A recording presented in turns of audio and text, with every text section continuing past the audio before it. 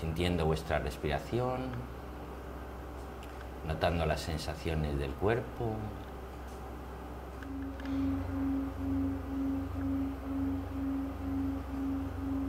Ligeramente brazos y piernas y las dejáis caer. Y simplemente dejáis que la respiración por sí sola se vaya estabilizando hasta que notas que ya estás respirando de forma normal. Notas que tu abdomen con cada respiración sube y baja ligeramente. Ananda, ananda.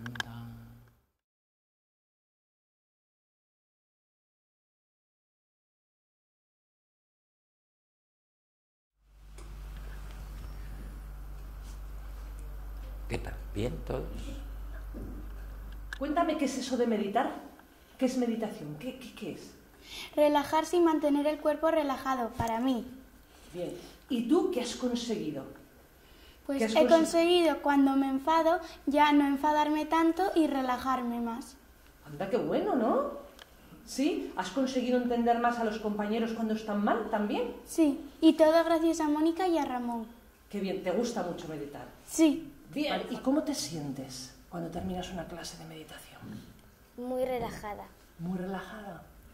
¿Notas que te enfadas menos con tus papis, por ejemplo? Sí. Sí. Bien, ¿lo recomiendas a todos los niños? Sí. Pues a- dilo tú, a ver. Les recomiendo a todos que hagan estas clases. ¿Has aprendido a meditar? ¿Tú te notas cambiado? ¿Tú te notas mejor? Eh, sí, un poco más, es más relajado, más, más, es más bien, ¿Feliz? sí, más feliz, ¿Más feliz? sí, Sí, por ejemplo, ya, ya, no, ya, no, ya no te enfadas tanto. no, Dímelo tú, ya no me enfado. ahí no me enfado tanto, antes hacía, oh, pero ya no hago, ahora hago, eh, no, eh, no estoy muy nervioso. Pues para mí meditar es relajarse con todos para no pelearse y estar más tranquilo con la naturaleza. ¿Y contigo mismo? Si un niño se siente, se siente mal con los otros, pues eh, les puede decir que se se sientan lo que él está pasando y que ya que le dejen de pegar porque también les haría daño si le pegan a él. El día a día. Para el día a día, sobre todo para resolver conflictos, para que los niños estén eh, más relajaditos y que, por lo tanto, eh, presten mucha más atención. Yo creo que es muy beneficioso y que se debería de ir instaurando poco a poco y sobre todo lo que se intentaba con esto es que se pudiese instaurar como en otros países en el currículum. Además, hoy en día, mm, si nos fijamos, los críos están muchísimo más eh, nerviosos, eh, muy alterados, eh, tienen, mm, el nivel de atención ha disminuido muchísimo. Entonces, yo creo que esta técnica es muy beneficiosa, para, sobre todo eso, para la concentración, para la atención y para la resolución de conflictos internos en el aula y en el centro. Eh, ¿Tú, tú has notado alguna vez en estos días que lleváis que, que había alguna situación que se podía producir una chispa y gracias a esto, ¿no? Es decir, Pues sí, porque eh, sobre todo, bueno, pues como ya han explicado los niños, ¿no?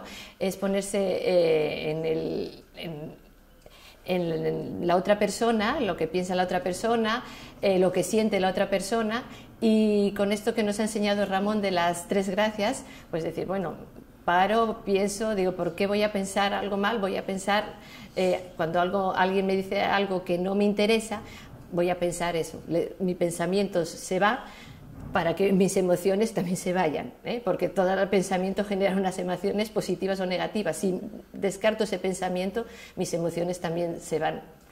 Y para terminar, lo has dicho antes muy bien, ayer también escuchando a un profesor, es la época de la tecnología, de las maquinitas, de estar continuamente con máquinas que realmente lo que hacen es acelerar a un niño, ¿no? Entonces, Eh, exactamente, eh, agen- eh, acelerarlo, estresarlo, con lo cual el nivel de atención baja muchísimo y el nivel de concentración también. Es lo que mm, hoy en día yo pienso que en la educación está pasando. O sea, el nivel de atención de los niños es, ha disminuido muchísimo y los niños están muy estresados, tienen muy poco tiempo para jugar, están mucho solos. Y eso de nuestra época, de que salíamos a jugar, a compartir los juegos, eso se, se ha desaparecido. En las grandes ciudades no hay espacios para el juego. Entonces los niños están solos con sus máquinas, eh, los padres muchas veces están muchísimas horas fuera de casa, el niño está muy solo, muy solo y muy estresado, ¿eh? Porque llevamos de una clase a otra clase para que no pierda el tiempo, una clase, otra clase, otra clase, o sea, después de que salen del colegio tienen tres o cuatro actividades como poco. Vale, muchas gracias, cariño. Dais Mindfulness, es una asignatura más. ¿Es así? Cuéntame, ¿es una asignatura más? ¿Por qué habéis decidido que sea una asignatura más? Sí, bueno, yo recién entro de directora y ahí mm, el claustro está formado en, en, esta asignatura, sobre todo cuatro o cinco maestras especialmente. Yo lo que pretendía era bueno, pues, eh, iniciar y desarrollar varios proyectos de centro y este es uno, un proyecto más, ¿no? que coordina eh, bueno, Ana, mi compañera, como acabamos de ver y yo considero que es mm, súper importante trabajar las emociones, sobre todo en la sociedad actual en la que vivimos, y marcar, no sé, pues una serie de, de valores, eh, sentimientos, pensamientos y demás, y reconducir a los niños por ese camino de, de la ética y la moral, ¿no? que forma parte de una asignatura más, eh, junto con la inteligencia emocional, que también trabajamos, yo soy tutora, y bueno, los profesores están sumamente implicados, todo el claustro y las familias, también contamos con las familias y con el alumnado, porque así, bueno, digamos sí. eso, que todo el mundo ha hecho el curso de mindfulness eh, con Ramón y Mónica, tanto el claustro como las familias y el alumnado. Se trabaja la globalidad. Sí, sí se nota cambio cuando se trabaja la, la inteligencia emocional, la, relaja, la, relajación, la respiración y demás, pues los niños están más tranquilos. Yo creo que se toman la clase de, de otra manera diferente. Y bueno, cuando se ahonda un poco las emociones es cuando se, re, cuando se conoce realmente a, al alumnado. Eh, quizás esa atención dispersa que tienen o capacidad de abstracción y demás, pues se corrige gracias a, a este curso y a este tipo de, de, técnicas que se utilizan. En temas de acoso. Porque lo que hacen los niños es eh, conocerse más, tanto a ellos como al resto de compañeros.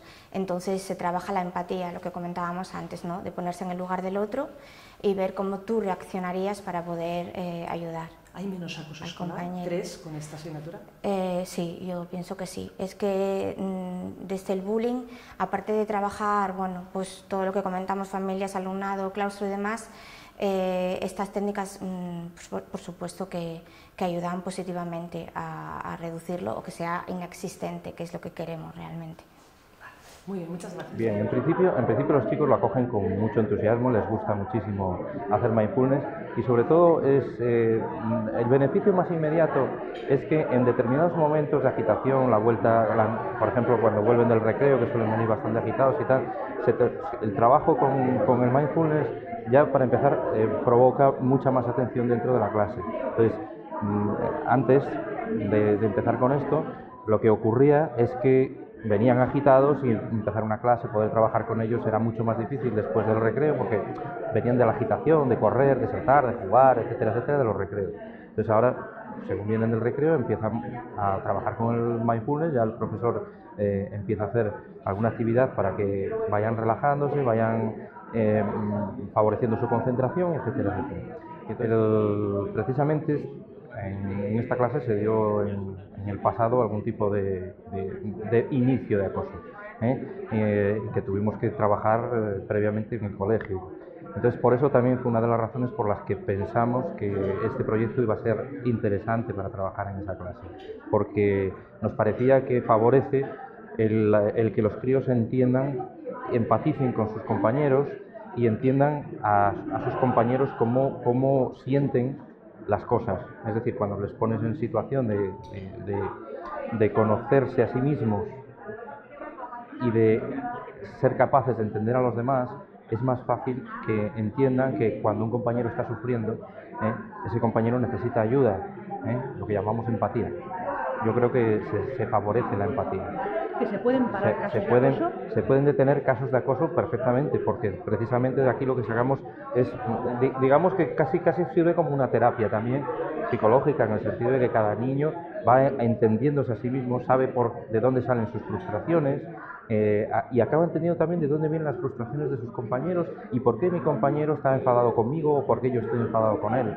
Entonces, eh, entendemos que, cuando conocemos esos procesos es más fácil de que ellos sepan eh, verlos o, digamos, trabajar en un sentido positivo hacia eso. Entonces sí que, claro, cualquier tipo de situación de violencia posible entre, entre iguales eh, digamos que, se, que, va a tener una repercusión positiva sobre ella.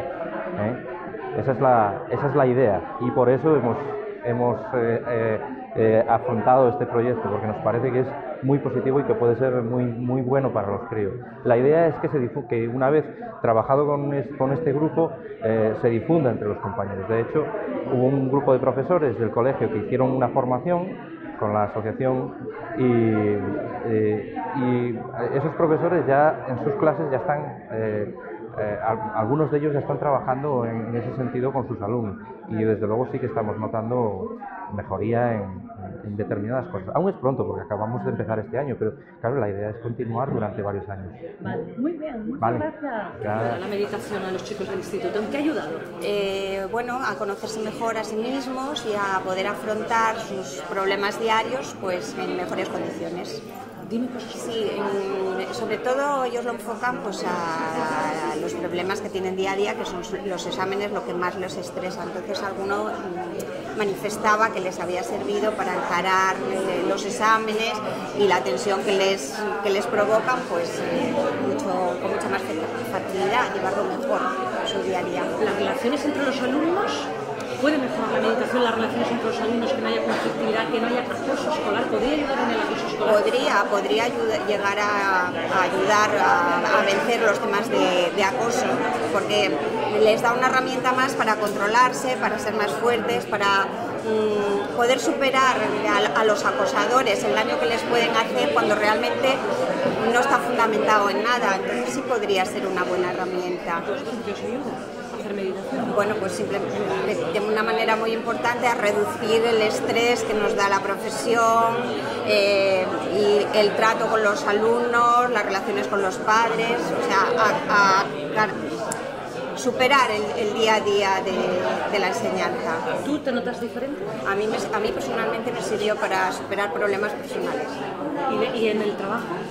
Eh, bueno, realmente... Mm, también puede servir, pero tampoco estamos en un centro donde las relaciones mm, personales sean muy problemáticas, entonces, pero sí sirve. Yo eh, animo a la gente que no lo conozca a que lo utilice.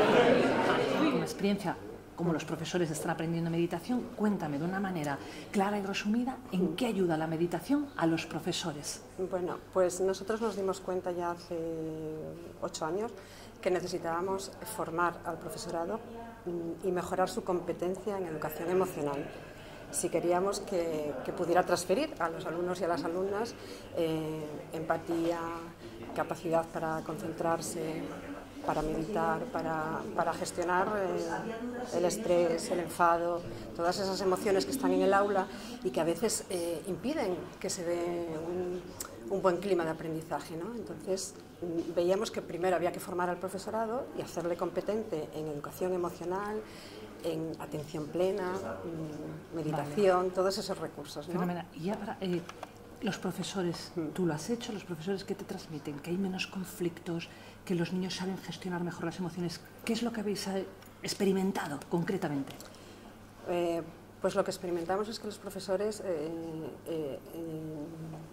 tiene mucha presión en el aula, ¿no?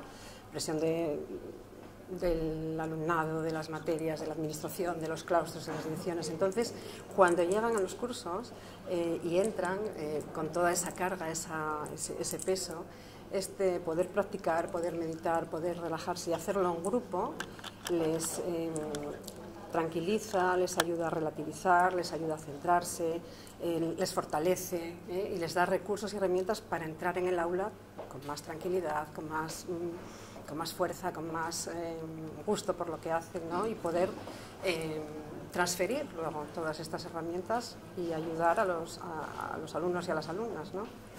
Eh, yo hice un curso de ocho sesiones, eh, muy bien, estupendo, me ha ayudado muchísimo, sobre todo anímicamente, me, ha venido muy bien. Y ahora lo está haciendo mi hijo de 15 años, que bueno, que lleva pocas sesiones todavía, pero bueno, le está viniendo muy bien también. Yo noto que él está como más tranquilo, como más relajado, se piensan más las cosas antes de hacerlas o de decirlas, se lo toma todo como más... Él era un niño muy es un niño muy movido, muy inquieto. Y bueno, veo yo que le está sirviendo que es más tranquilo, que, que piensa más las, las, cosas antes a la hora de hacerlas, se toma más tiempo y eso a la hora de, de, hacerlas. Y bueno, yo creo que le está viniendo muy bien también. Espero que le venga igual de bien que me ha venido a mí, a mí me ha ayudado muchísimo. Y espero que... Y hasta para comprenderle más a él, ¿no? Sí, por eso, yo precisamente hice el curso por eso, para luego a la hora de que lo hiciera, pues poderlo practicar juntos, entender lo que le está haciendo, lo que, bueno, y, muy bien, la verdad que muy bien, nos va muy bien y, va todo muy bien, nos ha salido muy bien y muy contenta. Yo, Me ha venido muy bien, la verdad. Muy bien, muchas gracias.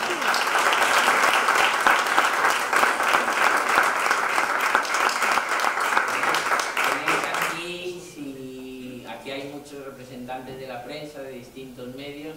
Tenéis aquí a Jorge, del Colegio Público El Ballín, Alberto, mm, que es el, alcalde de Illas y que de donde, donde está la fundación y obviamente tiene que estar aquí con nosotros, a Yasmina, alcaldesa de Castrillón, a Rosa y del Instituto eh, Isla de la Deva, a Begoña del Centro de Formación de Profesores de aquí de Avilés, de la Consejería de Educación, y a Elena Venta de la Consejería de Asuntos Sociales del Ayuntamiento si queréis hacerles alguna pregunta o a mí mismo. Pues. Yo quería preguntarle a los alcaldes eh, qué fue lo que les motivó a, meterse en este proyecto que es bastante pionero y a los directores de los colegios, profesores, que nos cuenten un poco qué están notando los niños. Como alcaldesa te puedo decir que nosotros eh, tiene que ver con una idea que tenemos de trabajo con la infancia. Nosotros somos un municipio estamos dentro del plan de infancia, que estamos desarrollando el plan de infancia, somos la amiga de la infancia y este año pues, hemos recibido el premio de excelencia desde UNICEF. En esa concepción de entender que las ciudades tienen que ser lo más favorables, no solamente a nivel constructivo, sino de todos los recursos y medios que se pueden disponer para que su desarrollo y bienestar, no solo físico, sino psicológico y social, sea mejor, pues se trata de aportar todo lo que podemos aportar desde el ayuntamiento. Esto es en un ámbito educativo, se está empezando en un ámbito educativo. Es verdad que en el ámbito educativo, todo lo que se refiere al currículum corresponde a la Consejería de Educación, pero también es verdad que el Ayuntamiento, en ese afán de promover actividades pues, preventivas en colaboración eh, con la Consejería, lo que se entiende la comunidad escolar, nosotros aportamos lo que podemos. Entonces, desde el marco del plan de infancia y desde el marco también del plan de drogas, también de la propia Consejería de Sanidad, nosotros nos sumamos a todos los proyectos que suponen avanzar y mejorar ese bienestar físico, psíquico y social de los, menores. También de las familias, por eso nos, nos interesa que ese proyecto también se incorpore las familias. Y la idea de que se incorpore el profesorado y se forme, pues redunda en que al final eh, la comunidad de, de, Castellón, el Consejo de Castellón, tenga una, eh, las personas, sus ciudadanos y ciudadanas estén mejor formadas y que haya más cohesión social en el, en el territorio de nuestro Consejo. ¿no? Pues nosotros encantados de trabajar en esa línea. Eh, yo creo que además el éxito, porque pueden decir las familias, el alumnado y el profesorado, veía resultados en este programa y, y nosotros también, y por lo tanto eh, siempre ponemos todo a disposición para que eso sea, sea posible.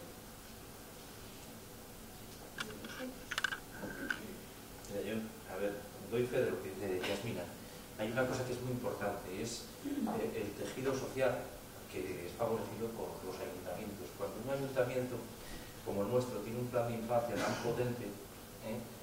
para los colegios es muy sencillo incorporarse.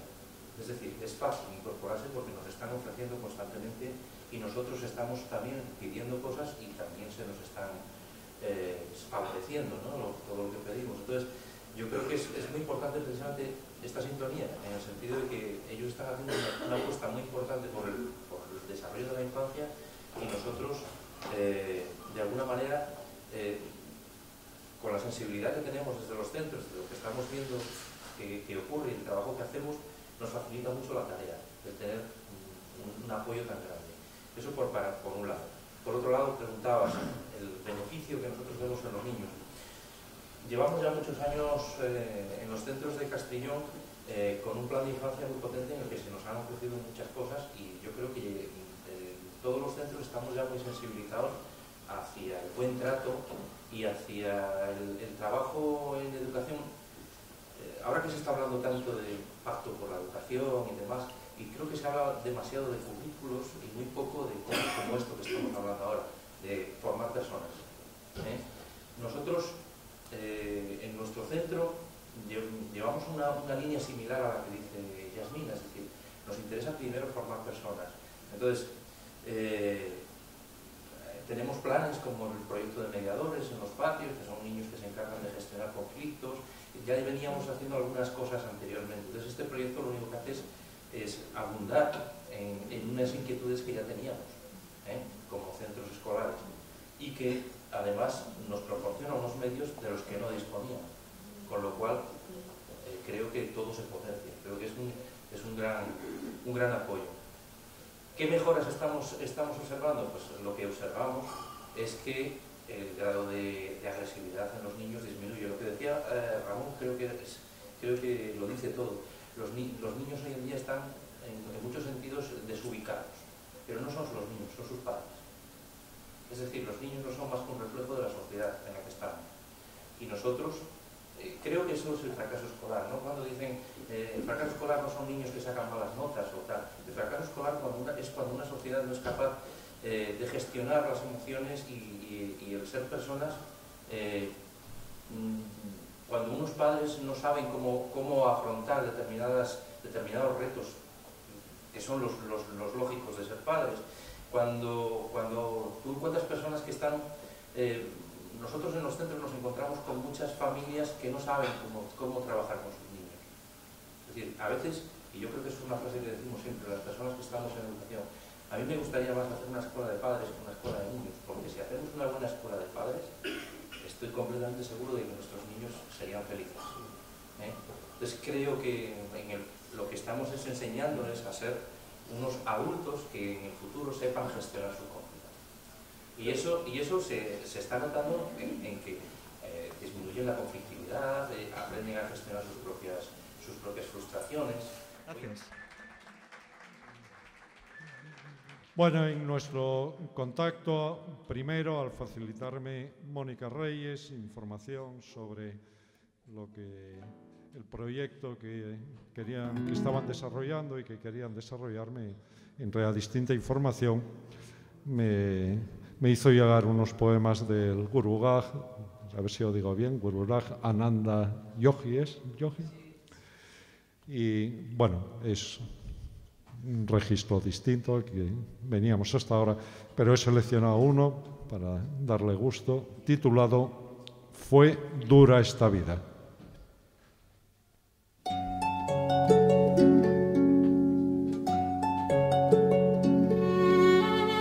Fue dura esta vida, cavando la tierra, ¿a quién importa lo seca que estaba? Mi espalda está rota de llevar los cubos de agua. Soy viejo ya, los árboles tan jóvenes floreciendo, fructificando. Me consuelo en la belleza de las flores, retozan en el viento sin saber del jardinero, que con amor y tiernos cuidados les alimento. Ahora se sienta en una esquina olvidado y desolado. Miro al sol, al viento y a las nubes pasar. Todo padre anhela una pequeña sonrisa por su trabajo. Cabe con manos desnudas, plantando cada semilla amorosamente. A ellos no les importa. Me siento en una esquina olvidado y desolado. ¿No te acuerdas cuando eras solo una semilla? Las lluvias no llegaban y todas las oraciones eran en vano. Lloré, lloré para que mis lágrimas te pudieran alimentar. Ahora eres fuerte y no tienes tiempo para el jardinero sentado en una esquina, olvidado y desolado. Las manos cubiertas con estiércol y el hedor llenando mis ropas, pero tenías que crecer. Sé que el juego de la vida es el trabajo. Descartado estoy como lo está una manzana podrida. Me siento con los huesos rotos, olvidado y desolado. Gracias. Es una canción que el, estribillo dice "Voy vacío la cabeza, lleno de energía, que es una pequeña definición de lo que es la meditación, entre otras cosas. Y es mentira. Ah, realmente vaciamos un poco la cabeza, pero no llenamos energía, simplemente utilizamos la energía que ya está para estar donde estás y hacer lo que toca hacer, en vez de hacer otras cosas, como hablar con otros y esto que hacemos a veces, ¿no? que estamos haciendo una cosa y estás tú en otro sitio. Pues de esto va un poco, entre otras cosas. Y como es un concierto benéfico para la Fundación IFSU, que al final es una fundación espiritual, voy a hacer otra canción ahora de Leonard Cohen.